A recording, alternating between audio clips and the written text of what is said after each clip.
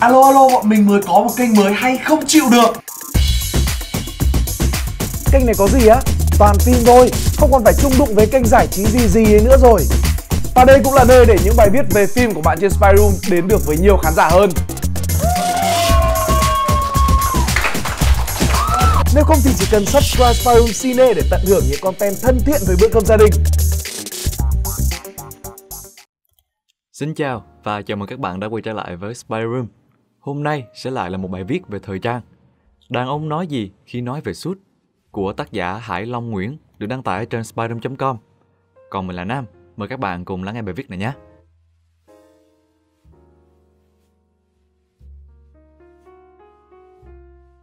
Suit là gì? Đầu tiên, suit là một bộ gồm áo khoác, jacket, quần âu, pants hoặc váy đối với phụ nữ và có thể có cả áo vest, ghi lê. Nhưng chúng bắt buộc phải phù hợp với nhau. Người Việt Nam thường nên đồng suit và vest với nhau hoặc suit jacket với áo vest. Nên ở đây, chúng ta sẽ cùng nhau làm rõ chúng rằng những thứ gì thì không được gọi là suit. Áo khoác thể thao hay còn gọi là blazer không phải là suit. Chúng khá tương đồng với suit jacket nhưng chúng chỉ là áo khoác thông thường và không đi cùng với một chiếc quần phù hợp. Nhưng nếu chúng được kết hợp cùng với quần Âu thì sao? Câu trả lời vẫn là không. Chúng không phải là suit vì chúng không phù hợp với nhau. Nếu chúng phù hợp thì đó không phải là blazer, đó là suit jacket. Vậy suit gồm những loại nào? Đầu tiên, tôi phải làm rõ một điều. Squat suits, đồ bó sát kiểu body shape hay track suits không nằm trong danh sách dù chúng cũng là một dạng suit bởi vì chúng không phải là thứ chúng ta đang muốn đề cập tới. Mặt khác, ở đây tôi muốn nhắc tới two saddles và suit thông thường. Chúng được phân loại hết sức đơn giản. Two saddle là bộ đồ dành cho những buổi tiệc tùng, còn suit thông thường thì hay được dùng trong những dịp trang trọng. Đừng bao giờ mặc suit đến một buổi họp tương tự với việc không nên mặc suit tới một bữa tiệc. Bây giờ, chúng ta sẽ cùng nhau tìm hiểu kỹ hơn về cấu tạo của suit. Như đã đề cập, suit thông thường gồm jacket, quần âu và đôi khi là cả áo vest nữa. Tất nhiên là tất cả đều phải phù hợp với nhau. Suit jacket thông thường sẽ là áo dài với khuy đằng trước. Những chiếc khuy nằm hơi chết xuống dưới. Vạt áo tạo thành hình chữ V sâu xuống tới chiếc khuy đầu tiên nằm ở quanh trốn. Suit jacket đơn ngực có thể có một, hai hoặc ba khuy. Đôi khi, bạn sẽ gặp loại tuy ba mà hai, có nghĩa là có ba khuy, nhưng chiếc khuy đầu tiên lại nằm dưới phần vạt áo.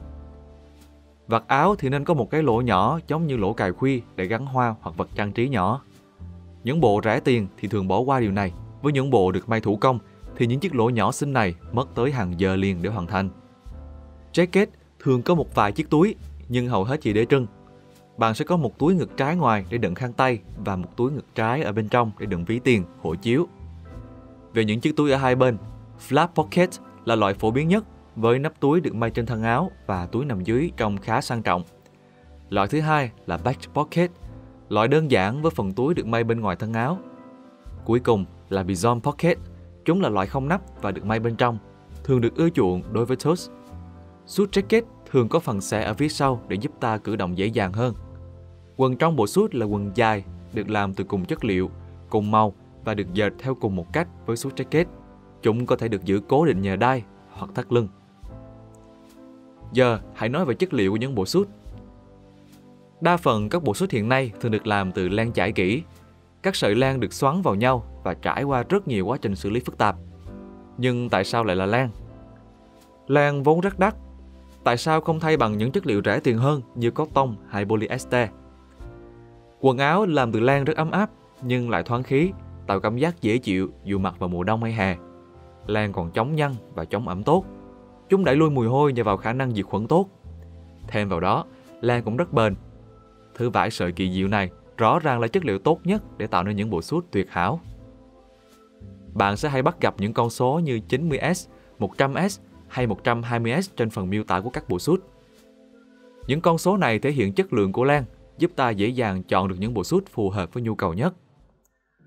Loại Super 70S, 80S và 90S Loại suit này thường được làm từ vải len dày, hô và tương đối bền, giúp người mặc giữ ấm rất tốt, phù hợp với người có thân hình mỏng và là lựa chọn tuyệt vời cho những anh chàng có kinh phí eo hẹp.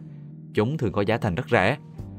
Loại Super 100S, 110S và 120S mỏng và nhẹ hơn loại 90S nhưng vẫn giữ được độ bền tương đối tốt. mặc thoải mái hơn nhưng không có khả năng chống rác tốt, phù hợp với người có thân hình đẹp và muốn có những bộ suit làm nổi bật cơ thể của họ. Loại Super 130S, 140S, mềm và nhẹ hơn nữa, cực kỳ thoải mái để mặc. Tuy nhiên, chúng lại không có khả năng giữ nhiệt và độ bền thì kém hơn rất nhiều. Thích hợp với những người không mặc suit thường xuyên, quan tâm nhiều hơn về sự thoải mái và vẻ sang trọng hơn là độ bền hay chống lạnh.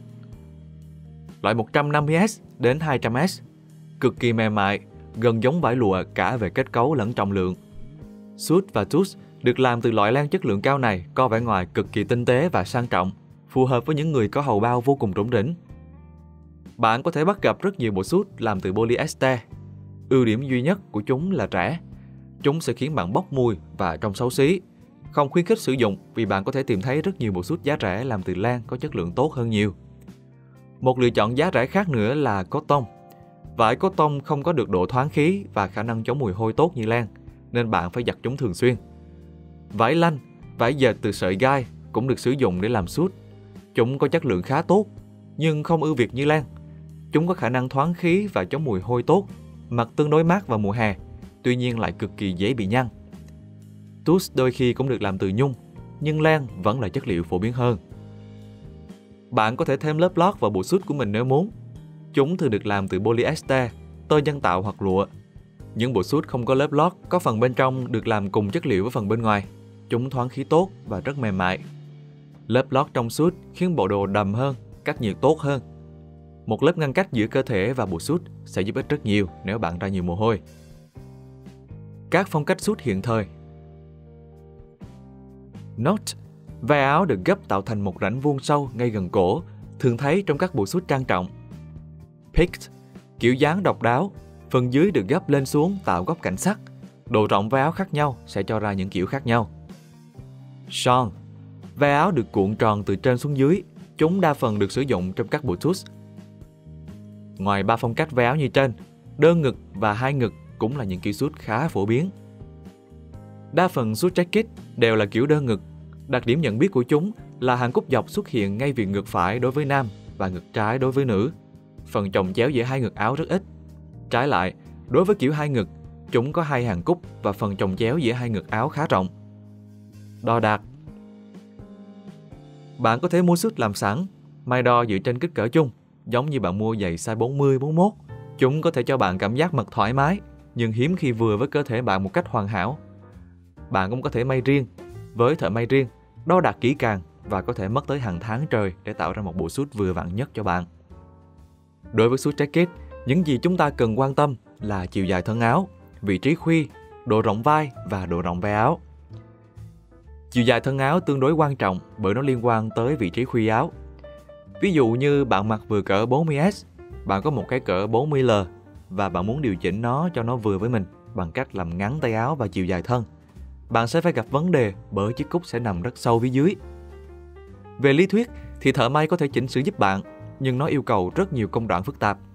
Họ sẽ cần may lại lỗ khuy, chỉnh lại vai áo, di chuyển những chiếc túi, vân vân. Vậy nên, hãy chọn một chiếc áo với chiều dài và vị trí khuy phù hợp. Độ rộng vai vừa vặn cũng hết sức quan trọng. Chúng thường theo một tỷ lệ nhất định so với vòng ngực. Vậy nên, bạn sẽ dễ gặp trục trặc nhỏ với những bộ suit may sẵn nếu không có tỷ lệ cơ thể phù hợp. Chúng rất khó để có thể chỉnh sửa nên hãy lựa chọn kỹ càng. Độ rộng vai áo không quyết định chiếc áo có vừa với bạn hay không, mà về tỷ lệ và phong cách. Với một bộ suit cổ điển thì kích thước này là cố định để tạo sự cân bằng hoàn hảo cho người mặc. Hãy nhớ, vừa vặn là điều quan trọng nhất khi chọn suit. Một bộ suit đắt nhưng không vừa thì cũng là rác rưởi so với một bộ suit rẻ tiền nhưng vừa vặn một cách hoàn hảo. Giờ thì hãy kiếm một cửa hàng may chất lượng, đo đạc kỹ càng và kiếm cho mình một bộ suit hoàn hảo nhất nha. Trên đây là toàn bộ nội dung của bài viết Đàn ông nói gì khi nói về suit. Cảm ơn các bạn đã lắng nghe. Hy vọng là các bạn sẽ thích video lần này. Đừng quên nhấn like, share và subscribe để ủng hộ chúng mình. Và nếu các bạn thích những nội dung như trên thì hãy đăng nhập vào spider.com để tìm đọc thêm nha. Còn mình là Nam. Xin chào và hẹn gặp lại.